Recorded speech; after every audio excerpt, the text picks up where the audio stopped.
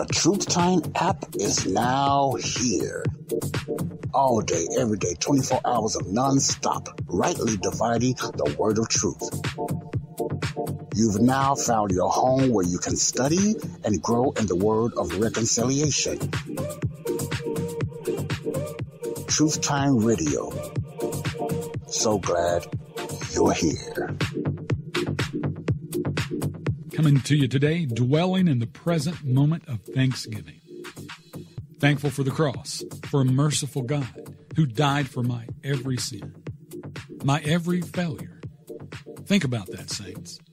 Each of us can look back over the span of our lifetime and, and think of all the many failures, all the many times we failed.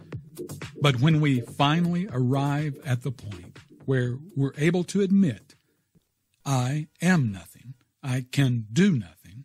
I have nothing. I'm a wretch. It's then that this beautiful picture of God's reconciliation begins to take shape in our mind. God died for every one of our sin failures, and He did so before we were born. On the cross at Calvary, God was in Christ reconciling the world unto Himself, and there He stopped imputing our sins. What a joy to be saved, sealed, and positionally already seated in heavenly places, fully alive in Christ and eager to serve Him.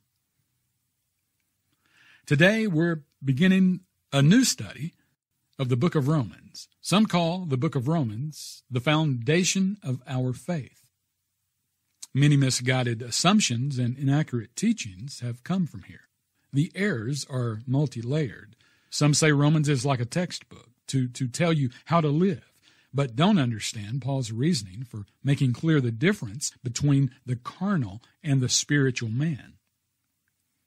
Some call Romans a curriculum for sonship edification and claim the gospel for salvation only consists of some vague faith in his blood, something they got from Romans 3. And then some have the idea of the Romans road to salvation, the confess with your mouth gospel, taken from Romans 10. These are some real foundational errors. Imagine that. The book many call the foundation of our faith is, is where they also find a way to preach a different gospel. And they tell the newly saved individual to go home and start with the book of Romans. Not Philippians, not Ephesians or, or Colossians, but they throw them headfirst into the theological deep sea of Paul's longest letter, one that deals with vast issues from the perspective of a mixed audience Jews in the flesh who know the law, and heathen Gentiles, and then expect them to parse all this out on their own. Okay, before approaching verse 1, let's, let's lay some groundwork. Rome had a very active and tight knit Jewish community. Many miss this. They think because the book is titled Romans, it was written only to Gentiles. But there were Jews in Rome. A lot.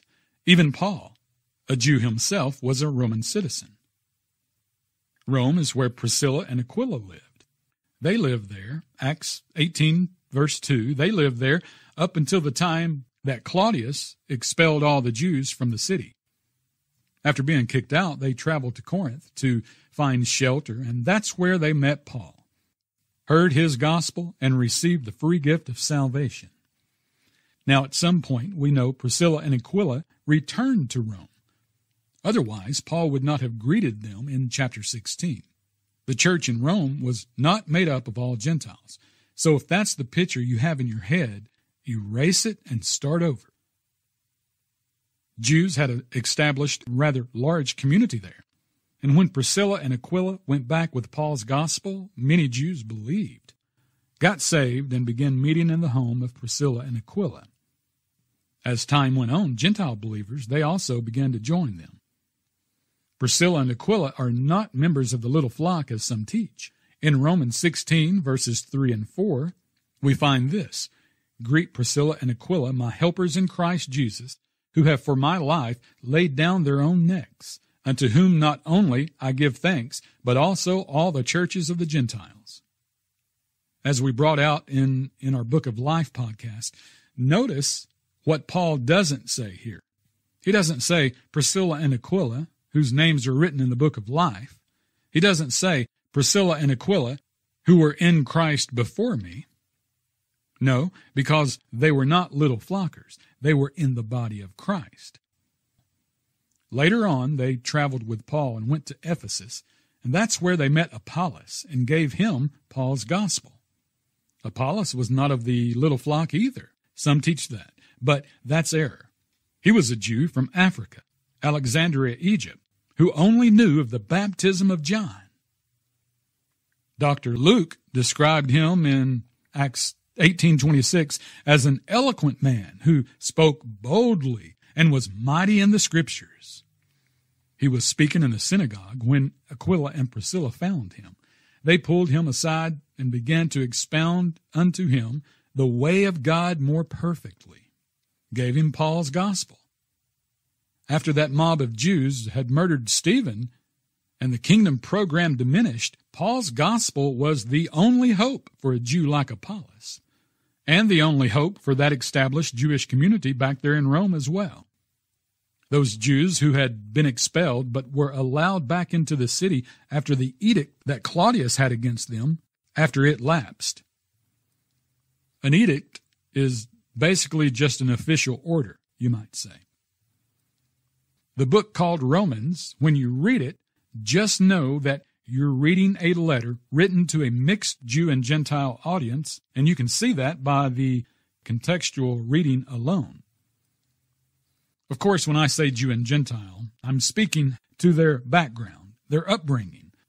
As we all know, in Christ, God makes no such distinction. No more Jew or Gentile, but now Jew and Gentile, the one new man in Christ.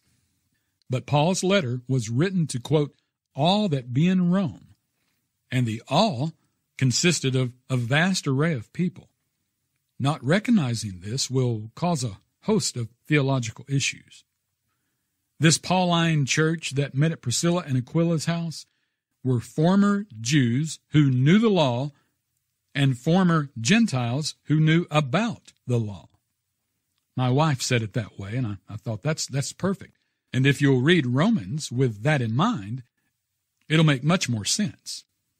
The recipients of this letter were former Jews who knew the law and former Gentiles who knew about the law. Gentiles were without the law and only knew about it because those Jews were trying to put them under it. A fellow who, who thinks Paul's preaching to the little flock in parts of the book of Romans, he asked me, he said, if Paul wasn't addressing the little flock, then who's he trying to move from law to grace? The Jews. Jews who knew the law. They were brought up in it. They were the very ones Paul was commissioned to go to, unsaved children of Israel. But never, not once, did Jesus send him to convert an already believing kingdom saint. If a kingdom saint showed up at one of Paul's assemblies, there's one thing we can all know for certain they were not there to get saved. To enjoy fellowship with other believers, or to assist Paul in some way? Yes, Paul actually wrote about that, called them fellow laborers. But nowhere will you find that they were there for salvation serious students of Scripture can see this, but those who are a part of the group that believes there's such thing as alternative facts, they cannot. Some act as if the little flock believed Peter's gospel until Paul came along and said, uh, Hey guys, I got one better. Never happened. Romans will become easier once you understand that there's more than one group of Jews found in Scripture. And Priscilla and Aquila were not of the little flock, but rather the ones who took Paul's gospel back to Rome, started spreading the news, the good news, and established a church that met in their house. When some hear the word baptism, they automatically think water, even though there's around a dozen different baptisms in Scripture, many having nothing to do with water. Well, likewise, when some hear the word Jew, they automatically think little flock. Big mistake. The little flock is just that little. Most of Israel were outside the little flock. and is what made them candidates to be saved by Paul's gospel. Synagogue attending, circumcised, law keeping, pork abstaining, professing to believe in God, but not Jesus, Jews.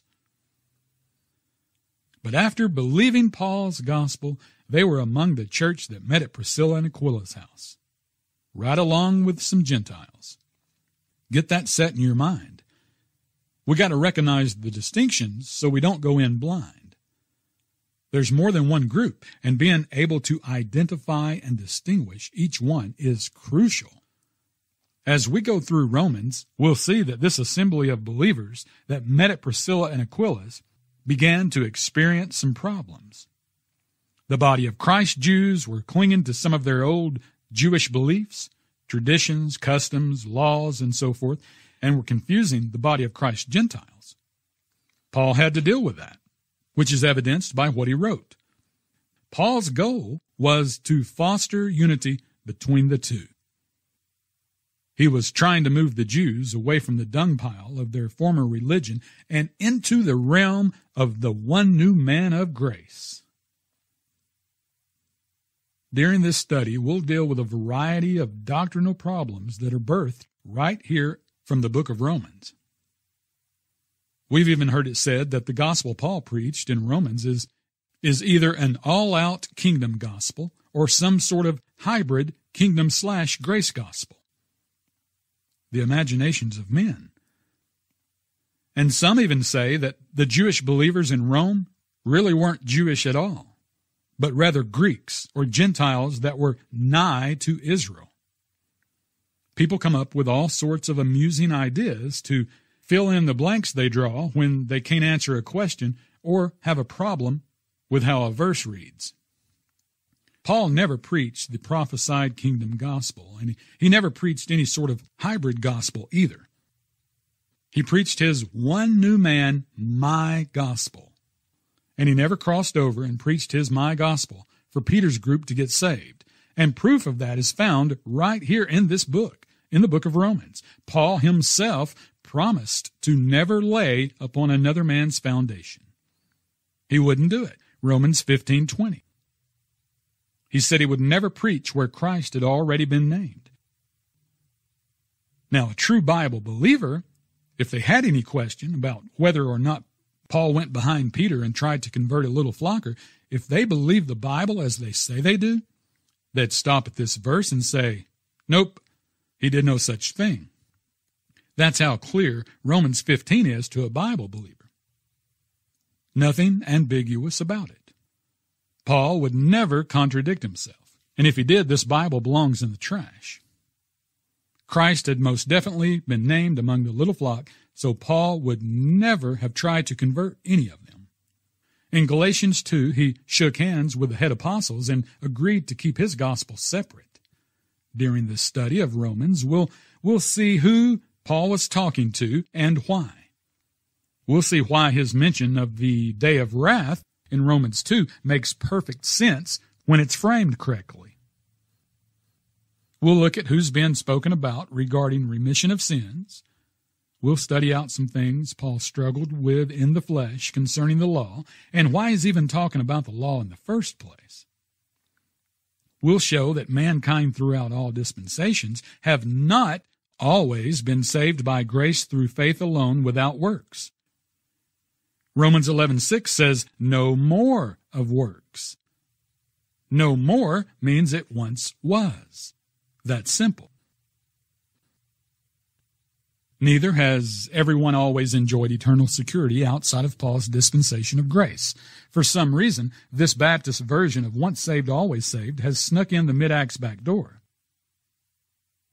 We'll address some passages found in Romans that are used to fuel this grace regressing we're sin from grace compromisers.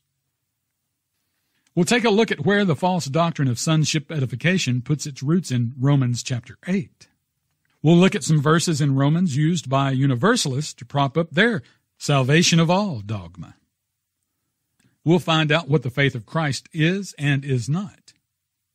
We're going to see whether or not Gentiles are grafted into that olive tree in chapter 11. We'll go over what we're to be fully persuaded in our own minds about We'll hit that when we go through our instructions for living life after salvation. We'll demonstrate how we know the Gentiles were never under Israel's law, never were, and still aren't. We'll take a look at how prayer functions under this current administration. We'll look at the way Paul addressed the Jews in the flesh here in Romans and compare it to the practical application for us today. And we'll find out the who, how, and why of marking others.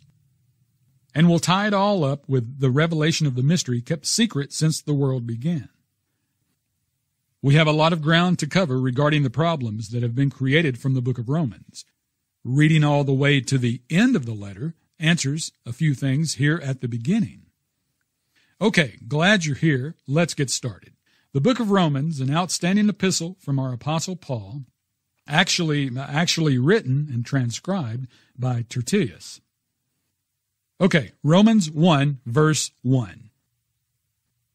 Paul, a servant of Jesus Christ, called to be an apostle, separated unto the gospel of God, which he had promised afore by his prophets in the holy scriptures, concerning his son Jesus our Lord, which was made of the seed of David according to the flesh. Verse 4 And declared to be the Son of God with power according to the Spirit of holiness by the resurrection from the dead. Okay, some teach that when Paul, here in verse 1, wrote the quote, gospel of God, he is using that as a descriptive of a gospel all by itself. Received a video for review of a pastor from Ohio who used this verse, verse 1, to say Paul taught more than one gospel. He said, quote, right out of the bat, it tells us that Paul was separated into a prophesied gospel. Then he said, quote, Paul taught the gospel of God, and he also taught the gospel of Christ. End quote. That's incorrect. Incorrect on both accounts. Paul never preached a prophesied gospel, and there are not multiple gospels in Paul's letters. And we'll prove it with Scripture. He also said, quote, the saints at Rome are exclusively or at least predominantly Gentiles, end quote.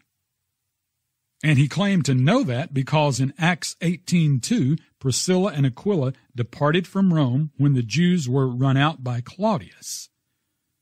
But if you read the whole book, the whole book of Romans, which I imagine he has, but maybe he missed it, but don't fail to see that in Romans 16, Paul asked those of Rome to greet Priscilla and Aquila and the church that is in their house. Don't miss it. Obviously, by the time Paul wrote the letter to the Romans, Priscilla and Aquila had returned back home, back home to Rome. The Jews in the flesh, a man and wife ministry duo, saved by Paul's gospel, Priscilla and Aquila had formed a church in their house. They taught Paul's gospel to other returning Jews and some Gentiles who already lived there, which would explain why Paul wrote to a church he had never visited, yet were already aware of his gospel. Paul begins the letter by proclaiming himself to be an apostle, separated unto the gospel of God. He then goes on to declare a part of this gospel he preaches. Some go to great lengths to make the gospel of God a gospel all by itself. It's not. They take the phrase gospel of God, parse it out, and limit it to only pertaining to Israel and their kingdom. This leads to fallacy within the body, and it's responsible for the doctrine that says Paul taught more than one gospel. Think about it.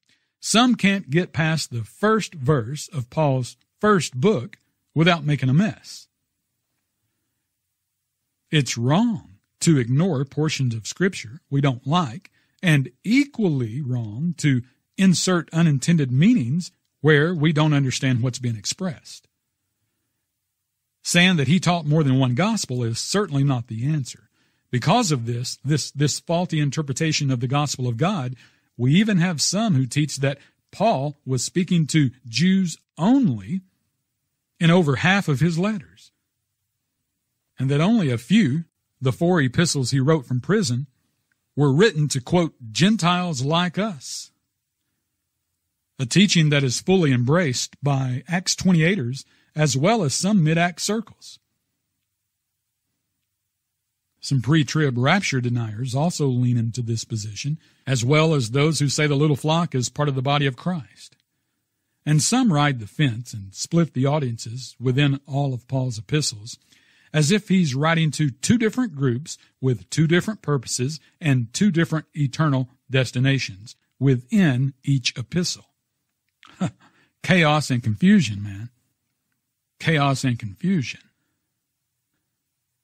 But all of these different sects, they all have something in common their understanding of the gospel of God. They all parse it out and read meaning into it that's not there. If you begin Romans 1 1 out on the wrong foot, you're probably going to stumble through the rest of the book. You'll get some things right and a lot of things wrong in this very long letter that covers several topics for several reasons and for specific readers. Romans is a serious book that deserves more than a cursory read, so there'll be times when we'll gear down, hang out a while, and dig in. So you'll want to have plenty of coffee. The point is this Paul didn't preach multiple gospels. The gospel of God, the gospel of Christ, the gospel of his Son, the gospel of the grace of God, the gospel of peace, and Paul's my gospel are all the same. To claim that Paul's mention of the gospel of God is the same gospel of God Peter preached is an open door to some real contextual issues difficult to explain without perverting Paul's doctrines. That's why the Acts 28ism, 12 in the body of Christ, Paul writing to the little flock, and the pre-trib deniers, that's why they even exist. They find fuel in proclaiming that Paul preached more than one gospel and or preached two different audiences with two different purposes and different destinations. When the interpretation of the gospel of God is reduced and limited down to only being the information contained in Romans 1 verses 3 and 4, it presents a multitude of problems.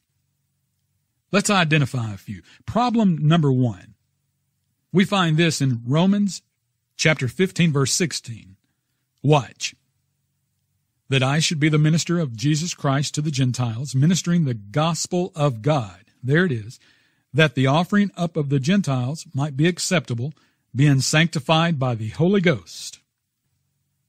Now think, if the gospel of God is only the information in Romans chapter 1 verses 3 and 4, how does this verse make sense? How would knowing the information in Romans 1, 3, and 4 alone make the Gentiles, quote, acceptable, being sanctified by the Holy Ghost. Oops. Now you're left with a, an unfinished puzzle with pieces that don't fit, made a big old mess, and it's spread out all over the kitchen table.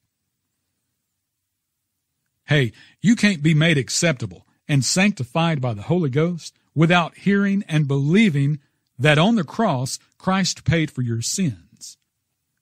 information not in Romans 1 verses 3 and 4. No mention. See the error? It appears that the Paul Preached Multiple Gospels Club haven't thought this through very well. Problem number two, let's travel to 2 Corinthians chapter 11, verse 7. Have I committed an offense in abasing myself that you might be exalted? because I have preached to you the gospel of God freely? There it is again. So ask yourself, why would Paul limit the supposed offense he speaks of here as pertaining only to the information found in Romans 1 verses 3 and 4? Here again, the Paul preached multiple gospels line of reasoning just doesn't work. With Scripture, it doesn't take long to dismantle the house of straw. Problem three, now it presents itself over here in 1 Thessalonians chapter 2, verse 2. But even after that, we had suffered before and were shamefully entreated, as ye know, at Philippi. We were bold in our God to speak unto you the gospel of God with much contention. So are we to assume that Paul suffered and was shamefully entreated at Philippi because he only preached that Christ was the, the Son of God, the seed of David, the Messiah, and that he didn't preach of how Christ died for our sins, was buried, and rose the third day? See the issue? And watch what he wrote in the next chapter, chapter 3, verse 2. And sent Timotheus, our brother and minister of God, and our fellow laborer in the gospel of Christ, to establish you and to comfort you concerning your faith. So only one chapter later, Paul's nomenclature changes from gospel of God to gospel of Christ without a blink of an eye. We find nothing here to suggest that there's any difference between the two. They're used interchangeably. That should speak volumes. It should tell us something. See, when we limit the entirety of the gospel of God to only being the information Paul provided in Romans 1 verses 3 and 4, we limit the good news of God to being only one thing. A gross error brought on from not allowing context and how the term is used in other locations to determine that it's just simply good news given from God. That's the gospel of God. An example of this is in 1 Peter 4, verse 17. For the time has come that judgment must begin at the house of God. And if it first begin at us, what shall the end be of them that obey not the gospel of God? So Peter used the term gospel of God. And the surrounding context, go read it, go read it yourself. The surrounding context of this verse alone should tell us that Peter isn't simply referring to Paul's Romans 1, Jesus was the Messiah, made of the seed of David according to the flesh. Just a little common sense along with our scriptural reading will go a long way. Is not the Galatians 2 7 gospel of the circumcision committed to Peter the good news of God sent to Israel? Is not the gospel of the uncircumcision committed to Paul the good news of God for us, for Gentiles? See where this is going? Likewise, the Acts 2024 gospel of the grace of God. That's the gospel of God, the gospel of the grace of God what about the Romans 1 9, gospel of God's Son? Is that something different? What about the gospel of Christ, which is the power of God unto salvation? Yep, all of these would be the good news, the gospel of God. Paul wrote of it about a dozen times. Romans 1:16, 15:19, 15:29, 1 Corinthians 9:12, 1 Corinthians 9:18, 2 Corinthians 4 4, 9 13, 10 14, Galatians 1 7, Philippians 1 27, 1 Thessalonians 3 2, and 2 Thessalonians 1 8. These who teach Paul preach multiple gospels have some serious undealt with issues. Is not the Romans 10:15 and Ephesians 6:15 gospel of peace also good news? The good news of God? Indeed, it is. The gospel of peace is the gospel of God.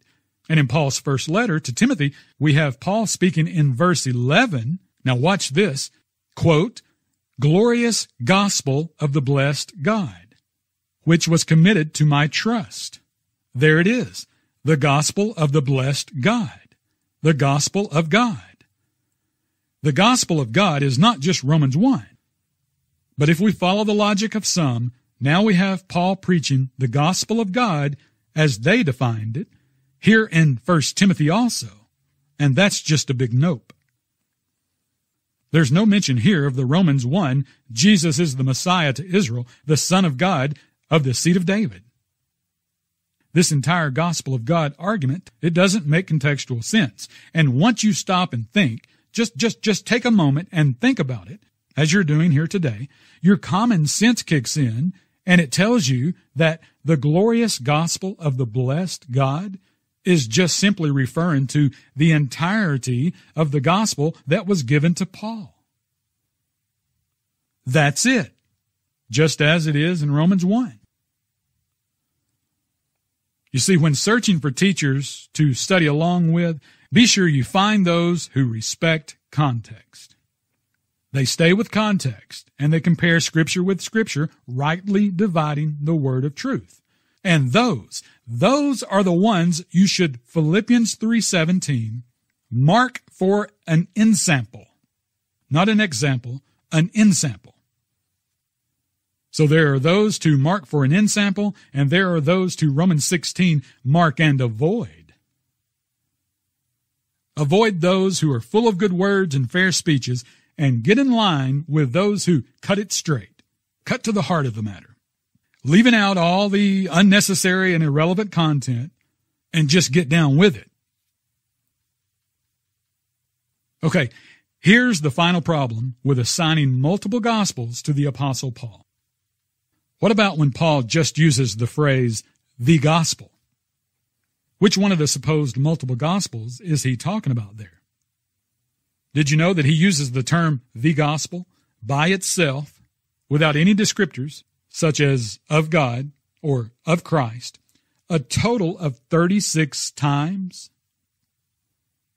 So if he preached multiple gospels, which one is he referring to of the 36 times he used the phrase the gospel? Which gospel is that? Which gospel is his my gospel? Which gospel is the Ephesians 1:13 gospel of your salvation?